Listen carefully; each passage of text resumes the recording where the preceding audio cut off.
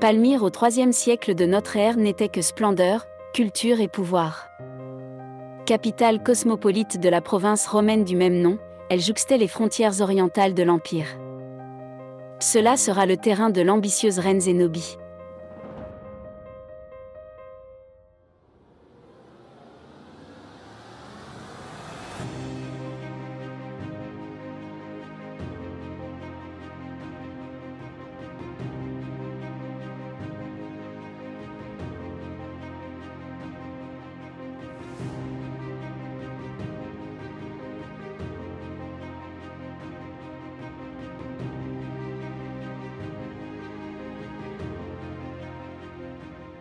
Voici le théâtre romain de Palmyre. Il était situé dans le désert de Syrie. Ce théâtre sera inachevé et date du IIe siècle sous la dynastie des Sévères.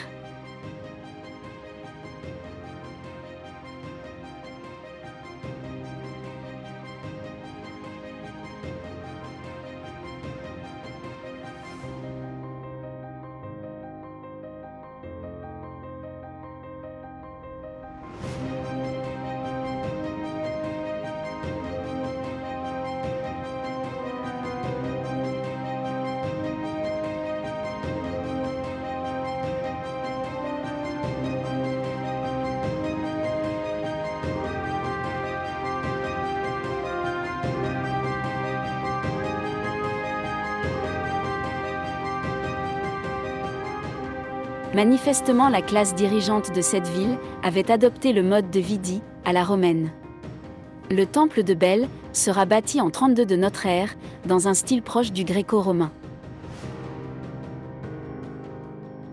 Zénobie, la reine rebelle de Palmyre, défiera Rome. Cette reine avait conquis l'Égypte avant de prendre d'assaut des provinces romaines. Elle fera de son royaume un empire aussi puissant que celui de Rome.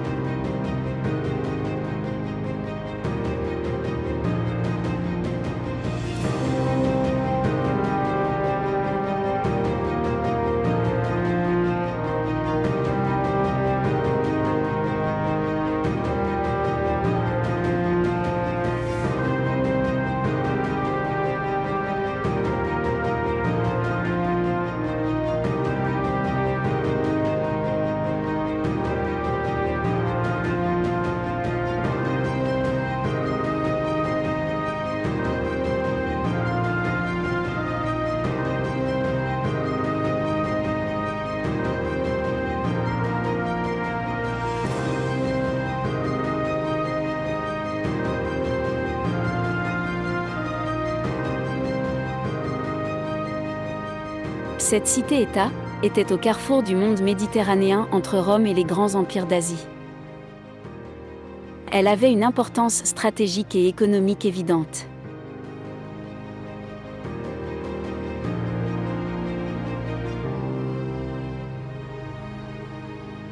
Pour les Palmyréens, la famille et la stabilité économique est au centre de leurs préoccupations.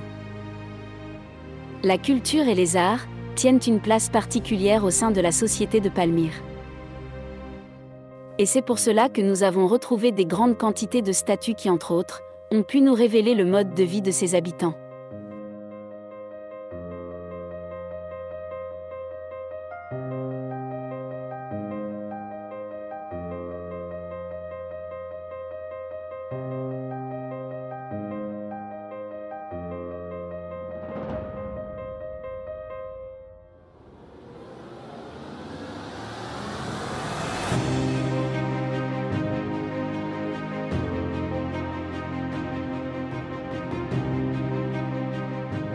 Des bijoux et autres joyaux ornent les statues des femmes.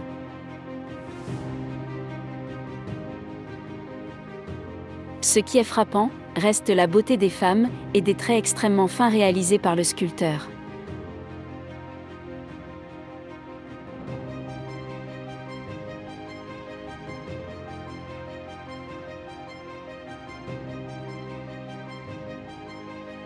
Le commerce par voie terrestre et les caravanes assureront la prospérité de la ville.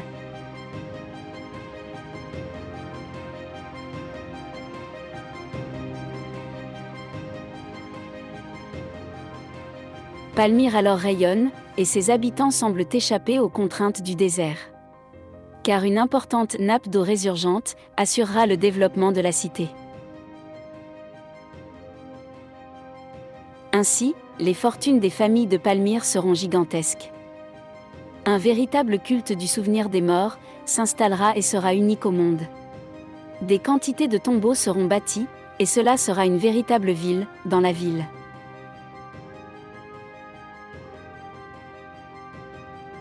certains frères se feront construire une tour monumentale pour assurer leur vie après la mort.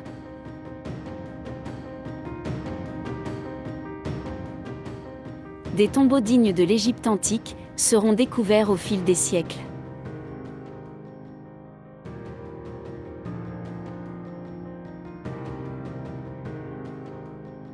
D'innombrables statues seront retrouvées, et elles nous parleront de la vie de ces prestigieux habitants de Palmyre et ceci grâce au texte en araméen pour la plus grande partie d'entre elles.